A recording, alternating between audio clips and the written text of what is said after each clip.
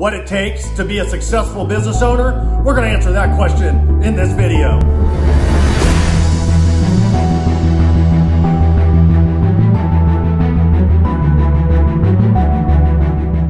Okay, let's rock. Let's make it happen.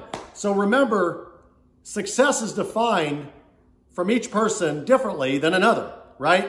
So if you think about it, you have to first define what your level of success is to be. Is it this much money? Is it this much freedom? What is success in your mind?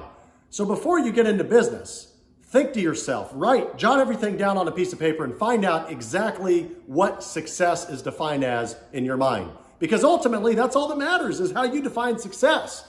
But if you're asking me for what qualities do I need to possess to be successful, that I can help you with.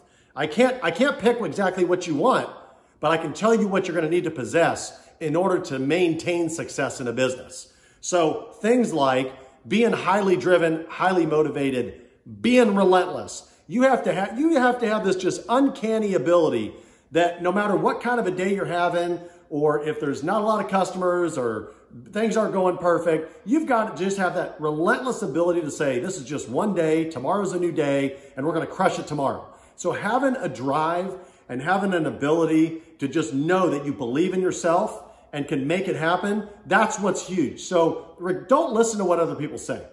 One of the things I think that's most comical is that a lot of us tend to believe what others think of us or what they think we can do or what we can't do. Isn't that crazy? That people actually are trying to tell us, hey, you can't do that, or that's crazy, you'll never make that happen.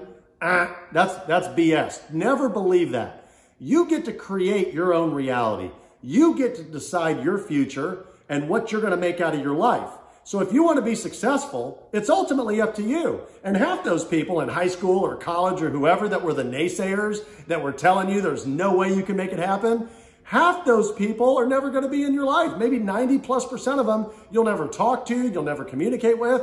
So ignore them. Just let, let the, all the words go in one ear, out the other, just throw them out the back. Hey, let's think of this example. Michael Jordan got cut from basketball, from high school basketball. There was a coach that cut Michael Jordan.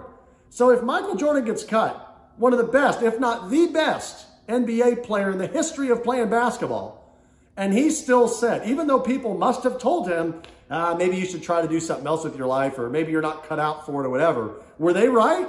Look what we would have all missed out on. We would have missed out on Jordan and all of his excellence and all those years of championships and, and, and Gatorade commercials and all that fun stuff. So Michael Jordan was the one that decided that he was going to be successful. He decided that and he made it happen. And you need to do the same. So think along those lines. And remember, there's no straight line to success. You don't just get into business and people aren't just lucky. They don't just, oh, they just, that person's lucky. They just became successful. If you pull each and every one of those people and you interview them and you say, hey, tell me your life story from the time you had nothing to the time you became this self-made multimillionaire or billionaire, wherever they're at, tell me your storyline of success.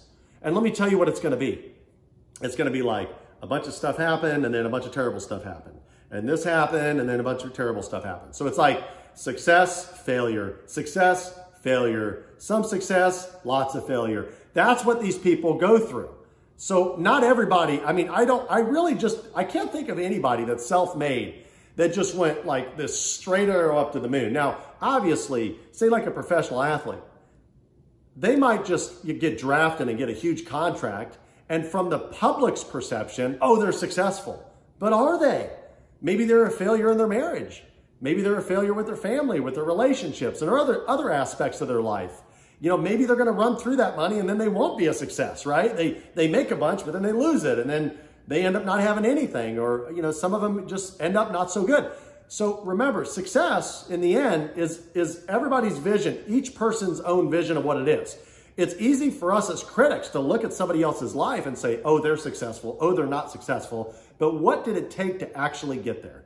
That's what you have to think about, okay? So once you've decided exactly where you want to go, now you've got to make it happen. Now it's up to you. And so what you do is you can disappoint all those naysayers. It's simple. Just put in the extra work. Just outwork everybody else. Just keep pushing through life And eventually, you're just going to keep treading, keep treading, keep treading, and you're going to realize that you're going to get better and better and better at your trade, at your business. Over time, you're going to get so good that it's just going to become inevitable that your business succeeds. Now, in the definition of a successful business, you know, we've talked about this in a prior video. Ultimately, the number one goal of business is to make money. We've talked about that. But there's other things that you're doing. Are you providing, a, you know, great goods or services to your local community?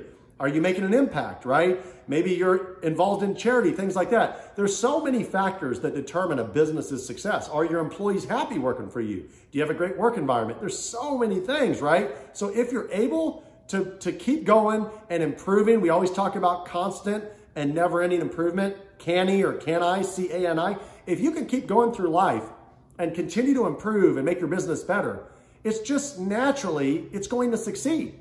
And, and if you're like me, no matter what you get to, you keep raising the bar. So I get to this point and then that's not good enough. You raise the bar because as humans, we want to keep growing. We want more. That's just, that's just how human nature is.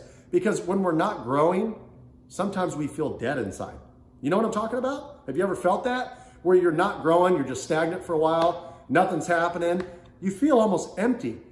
And it doesn't matter how much money you have at that point. You have people that are multi-billionaires and billionaires that are miserable and they, it could be for various reasons, but a lot of times it's because they're not growing. They just reach the, the top of the summit. They realize, wow, this is all it's caked out to be. I don't have a lot of friends up here because not everybody's rich like me. And, you know, when these people are talking, that's what they're saying. That's, that's truly what a lot of their thoughts are. There's some people that are self-made multimillionaires or billionaires that are content, that have found levels of fulfillment in their life, which is great. That's fantastic. And that's the key here. Success and trying to make money, you know, that's a science. That's something I can teach you. That's something we can, that, that can be taught how to make money. But being fulfilled, right? That's, that's an art. That's something you have to learn. That's within. You have to learn how to find that self-fulfillment. You know, here's an interesting story. You know, I, I try not to say names or anything like that. I know several people in my life, and there's one person right now that I'm thinking about that has made quite a bit of money in their life. And anytime I talk to them or see them or, or have, you know, you know, seen them go on vacation or whatever, they just don't seem very happy. And I, I, I just tend to wonder, man, they made all that money in their life. They worked their tail off just to get to that point. And they can basically have anything that the average person would ever want, any material thing, they could go on any vacation, but yet it's never good enough. No matter how much this person makes, it just isn't good enough and they're just not happy. If they go on vacation, they don't even want to be there because there's just no happiness. There's no fulfillment. So Tony likes to say it. I love this when he says it. Is success without fulfillment is the ultimate failure. And he might say something a little bit different, but that's the meaning. Success without true fulfillment is the ultimate failure because here's what you did. You signed up, you set goals. You said, I'm going to open this business and you created this incredible business and you made millions and millions of dollars and you're financially free and everything. And then when you get there, you're not happy. Well, what was the point of all that work if you're not happy? And that's why a lot of times people go through midlife crises. They don't know what to do. But a lot of these people that have money, they think they're going to die with it. They think they're going to have it forever. They're not. They're not taking it with them. What's it there for? Well, if I was that person, if I had all that disposable, if I really had made it to that level, I would be thinking, okay, let me make sure I get all the things when I was a kid that I want, right? Material things. Okay, great. Check, check, check.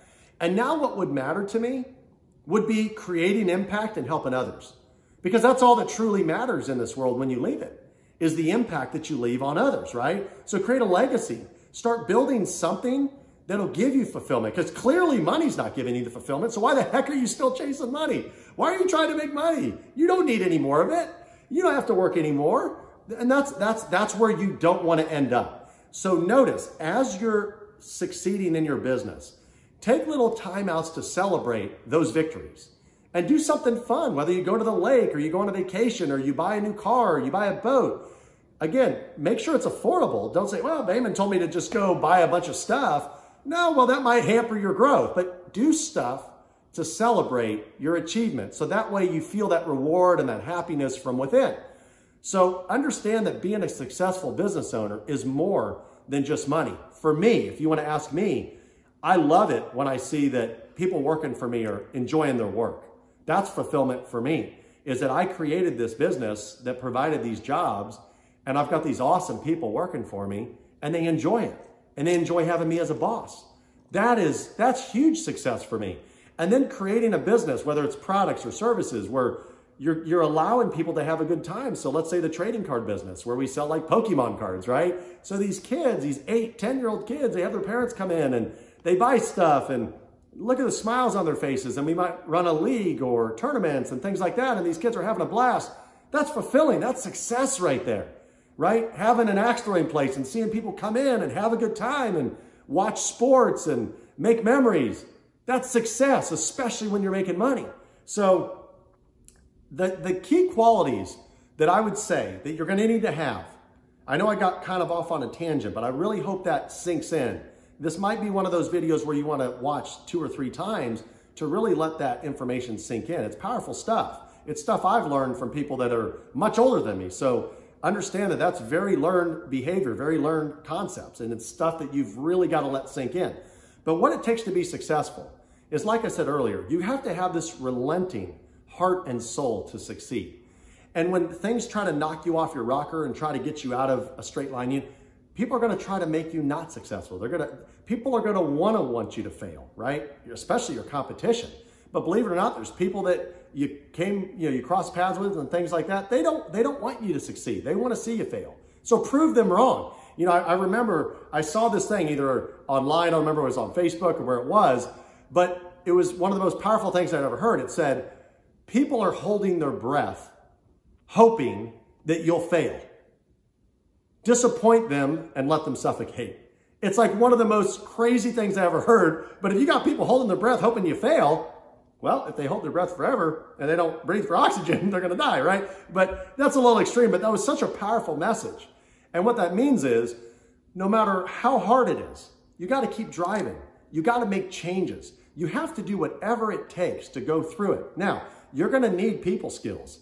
You're going to have you're going to have to have some good ability because you're going to be the one hiring people, especially if you're a small business. If it's just you or your spouse and you're just starting the business, you're going to have to be able to interact with people. So you're going to have to have good people skills, to ability to hire people and have them believe in your dream, this business that you created. You know, not everybody wants to be a business owner, but some of them want to work for a business owner that has a, a, goal in mind, right? That has a vision that they believe in or something that aligns with their values and their interests and their fun, right? And so they said, well, I want to find a fun job. I'll go work for somebody. I don't want to have my own business. A lot of employees are like that. They're, they never want to have their own business, but they want to work for somebody that is fun to be around. So you want to make it fun. So you want to have those people skills. You want to have, like I said, that relentless ability to push through and get going. And you have to just know that if this is what you want, you can never, ever give up. You keep going and you keep going. If you have to get a second job or a third job to support it until it gets there, if you want it bad enough, I'm sorry, for now, you got to sacrifice and that's what you got to do to make it happen.